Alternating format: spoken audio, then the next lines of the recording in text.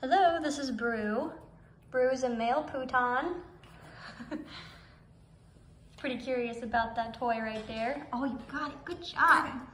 I love his all white dipped forepaws. Really nice markings. He's got a very, kind of a straight but very fluffy, thick coat. Good job. You got it. He was born August 16th and he'll be ready to go home around October 25th.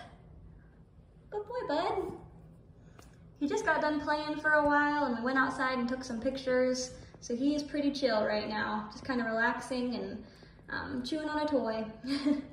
so this is kind of what you'll see most of the time at home. Then sometimes he'll get little puppy burst of spunk of energy. You can go ahead and cradle him up and we'll get a closer face shot of him. We weighed him today and he weighs three pounds, two ounces, and that's charting him out to be 11 to 14 pounds as an adult. He's been to the vet and also checked out perfectly and will arrive up to date on his vaccinations and he's microchipped. Thanks.